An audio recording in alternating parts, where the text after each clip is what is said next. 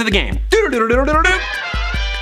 This person Mm-hmm. was turned into a living doll made out of felt due to a ritual gone wrong in which they wanted to curse someone. Doll. Which isn't the craziest thing, you know, there's Frog Thor.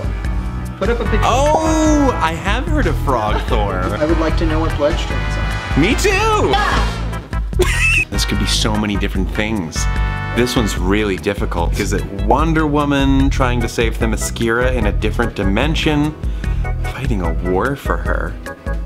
Is it Captain Marvel? Just because of the parallel universe jumping, I'm gonna say it's real and then guess uh, Rogue.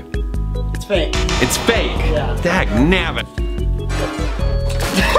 I'm really good at dodging batarangs. I'm gonna steal the Declaration of Independence. Visual crime. Horrific mutants, self-aware robots, and even Destiny.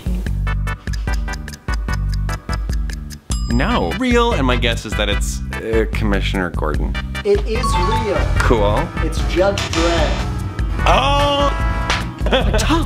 What would keep you from slaying me, oh segregated one?